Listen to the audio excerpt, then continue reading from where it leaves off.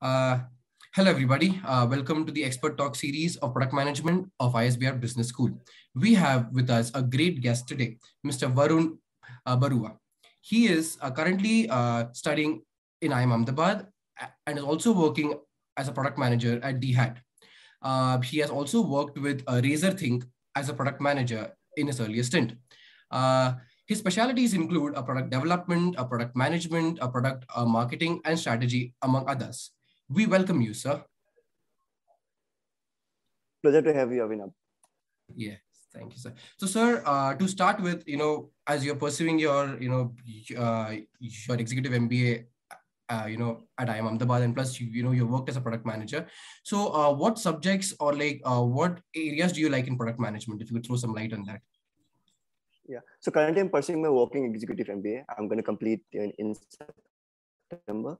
So if you talk about the discipline, right? So PM happened to me by luck, uh, I would say. And since then, I kind of got into this discipline and, and I really enjoyed what I do. There are two aspects to it, which I, which you'll say uh, is uh, makes makes my life very interesting. First is if you look at the outer side of it, we are solving problems for a user in mind, and we look at all aspects of the problem. And when you see the problem is solved for the user and user gets value out of it, you get satisfied that's a dopamine effect you get right?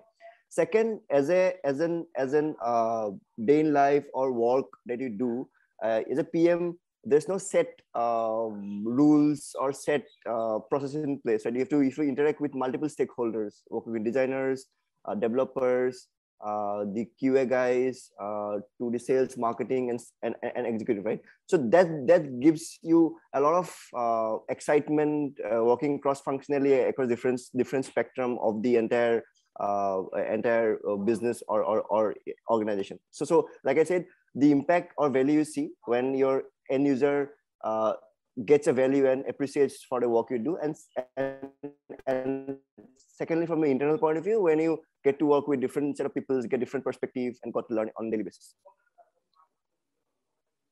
Okay, so that's uh, you know, so that's great. Um, so, sir, you know, uh, talking about your previous uh, work ex, right, with you know, with uh, with uh, RazorThink. So, uh, you know, so my question to you is: we all use various you know uh, products every day, right? Uh, what goes behind uh, strategizing for a product before it's out in the market? It's a very very broad difficult question. I mean i would all, all i could only give uh, the, my perspective of how it should be right? So any product if you see uh, the great products uh, be it in technology space be it in manufacturing space consumer space and so on and so forth they are they are targeted towards a customer they're targeted to a user and it's solving a core pain point for the user right? So first is like identifying the right users uh, identifying the right problems for the users identifying how you can solve those problems right? Now there's this one aspect that is that is core to approaching building a product, right? Now, after that, you have to figure out what is your market segment, right? Uh, is, the product made for a niche audience? Uh, the second, how you to figure out how do you go about solving those and what value you can you can create, right? Who are going to be early adopters? And and lastly, I think you have to figure out your unit economics, right? Uh, as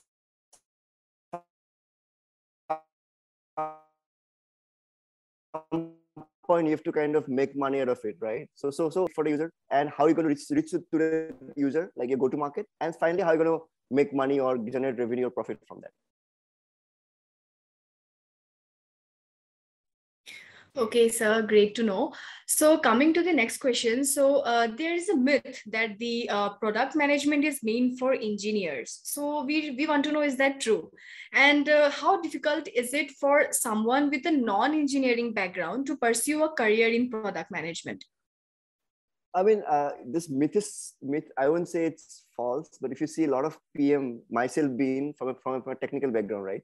Uh, and and most of the PM hires or PM uh, folks who have joined recently are mostly no technical companies. And, in those companies, you expect uh, the person who joined the engineers and developers, right? But but uh, but I've met non-technical background, right? So basically, at the core of it, I would say having a technical understanding in the current space is is important. Uh, uh, but but it's not the only way that you have to have a technical space to get into PM, right? Like because a lot of the lot of the companies uh, look at people who can think laterally, who can uh, go through first principle thinking, who can solve problems, uh, and who can kind of keep in mind the user and, and and keep in mind the scale, right? So, but but now in going forward, since most of the companies, if you see, a lot of traditional companies are also adopting technology, right? Uh, but the, the, so I mean, to get a hold of technology, how it works, I think will be will always be advantageous for anyone who wants to go into PM space.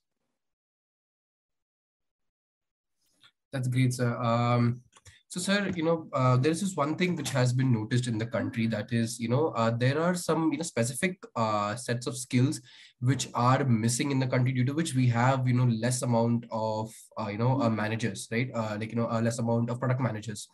So, you know, so what are the skill gaps that you find you know, uh, like amongst the students, uh, wherein you know they are, you know, they, you know, they're not able to get into this line. Like, you know, there is some sort of a gap.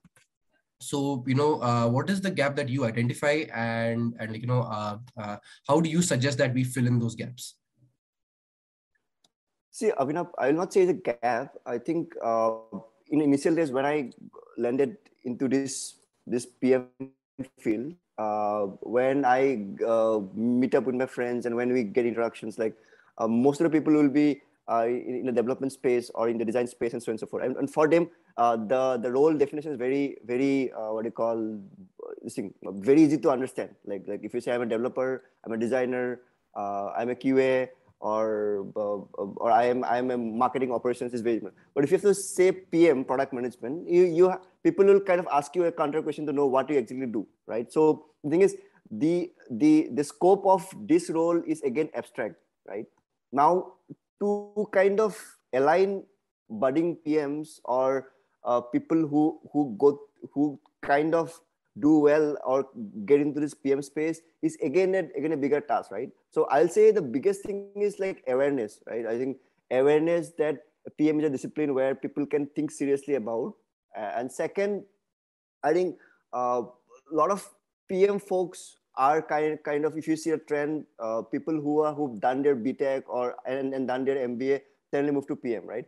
And that's not true. I mean, a lot of uh, people who are from non-BTech background or even only BTech background and non-post uh, what do you call MBA or or or postgrad can can move into PM. It's just that you have to have that sense of uh, the business or get set that sense of the users, the problems, the scale, and so on and so forth. Right? I would not say the gap. It's just the awareness and and then the alignment of the focus and also I think institutions have a role to play. I mean, in, in, if you talk about India and US, I think in India, in the last four five years, I think there are some uh, uh, what you call institutes who are focusing only on PM, who bring in industry leaders, who bring in some disciplines of strategy, marketing, uh, and so on and so forth in, in, into kind of molding or guiding students towards that route, right? But in the US, if you see in US, I think it's been uh, it has been there for uh, for for more number of years, right? And also in US, uh, if you see there are a lot of companies who are in Silicon Valley who are who are more product focused, right? In India also, I'll not say they're not, but I think the the the focus of that discipline and the kind of the nuance, the the the understanding and awareness is more uh, compared to uh, India. But but this is this is this is kind of improve, improving, and a lot of people I see a lot of engineers uh, are, are, are taking this discipline and kind of starting start working towards that. Okay, great, sir. So next we want to know about from you that uh, how does product management work with executive leaders? That's a that's that's a that's that's a part of the entire entire uh, role itself, right? Uh, I mean, you directly indirectly have to interact with executive team, right? If you are working in a startup, you'll be directly reporting or working closely with the founding team. If you're working in a big company, you'll be reporting to one or two level of founding. Because the thing is, uh, at the end, the company's vision uh, is linked to the product roadmap, right? And and, and as a PM has to solve problems. And it's look at the same time, you have to look at your broader picture and think of think of what are the next things you want to do, right? So so when you have to think of next things you want to do for your product, you have to look at the you have to look at from the other aspect as well, right? If You look at uh, uh, what the uh, vision of the company what does the executive think, think about right and when you when you kind of rebuild something out you have to again uh, demonstrate it to your executive team right? so your executive team uh, interactions because metrics everything is driven from there right? So interactions is, is is is going to happen on a frequent basis.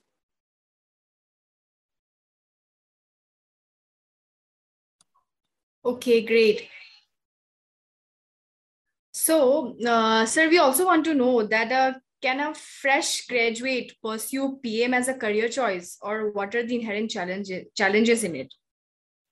So Sweta, i think directly pm i would say a fresher could could be part of the product team. I mean, as a APM or probably in some companies might be PM. But I would say uh, it is possible. But I would say that person has to be in that that uh, company and understand uh, the, how the business works, uh, who are the users, uh, what they're trying to solve, and so on and so forth. Right? It, directly landing in the PM will be a little, little difficult because you have to know different aspects of the entire how the business functions uh, uh, what are different aspects of uh, running a business and so on and so forth. But but but apm i have seen a lot of freshers uh, who are typically from uh, non non postgraduate discipline have have moved into apm roles. And, and typically if you see a lot of uh, mba folks can go into pm because they get a sense of strategy, marketing, business through their uh, uh, course module, right? So it becomes very easier for them to uh, understand and adapt to it, right? I'll say uh, someone who is from a commerce background, who has seen how in the family business, who has seen how how what I call businesses work, or, or who is who, who, has done some amount of uh, entrepreneurship. For them, it's, easier for them to kind of get into this space. But it's, it's just a matter of time. It's just a matter of time that uh, you can definitely get into a, a PM Okay, great. So knowing so much from you, so we also want to know some more things from you. So could you just uh, throw some light on the popular roles uh, for the freshers and as well as someone with experience? Uh, in product management space? Uh, yes. I would say like like uh, uh, for freshers, I've seen a lot of a lot of people, a lot of freshers joining as freshers. I I mean freshers here uh, who are non-MBA, right? Who are just a undergrad. I've seen a lot of people joining into APM roles, right? Uh, from MBA freshers, they have joined into PM, right? Who has tech background, non-tech background, who has done an MBA, they have joined to PM, right? And for experience, I think uh, senior PM, VP, these are all the positions that are that are that are really available uh, across across industries and domain. It was great, sir. Uh, you know, so sir, we have come to the end of the interview. Uh, so before we end it, uh, like you know, so we'd like to ask you whether you have a small message for all the aspiring, uh, you know, students who want to get into, you know, this product management course. Any like any small message you want to give them? Yes, yes. So I, I would say like uh, the, the question which you ask about the uh, PM from PM who come from engineers and not tech background, right? So so like I said, in future in next five to ten years, data is going to be the new oil. Like people are saying right data is going to kind of this thing right? And most of the companies will have to adopt the technology or they'll die right? A lot of traditional companies. So so i would say first thing a pm who is not a, a, a, a fresher or a budding pm who wants to get into pm space you should be very comfortable here should be very comfortable with how technology works right? Not not knowing not going to a level of how a code or, or a system level design works but at least how technology works right? Uh, think about if you're using a product, right, a WhatsApp or, or any of your e-commerce uh, applications, just think, try to think uh, what are the things, what is the thought process that has gone behind in solving it, right? What is what WhatsApp trying to solve for you, right? If you don't have WhatsApp, how are you doing your uh, uh, uh messaging uh, or communication without WhatsApp, right? And what has gone into doing it? So first of all, try to be familiar with a lot of technology technology tools. I mean, and, and see what value is trying to create Second, try to read a lot of books about uh, about uh, this strategy, the business, about uh, your critical thinking, uh, about the first principle thinking, about how do you solve problems, right? And and third, keep looking out. I mean, so so as, as a fresher, I think who who don't have non-tech, non-PM PM experience, uh, I mean, it's easy to get into a startup, right? If you are passionate about, if you have if you have done some project work, uh, like like let's say you in your project, if you in a college, if you've done three months of internship or something working on a product and try to figure out the different aspects of it, like a competitor analysis, the market understanding, the kind of problem they're trying to solve, and what should what is a flop drawback in the current product, right? Right. So if you kind of source that kind of uh, what you call interest or or or or kind of work behind thought process behind, it becomes easier for an uh, a hire to to take you in, right?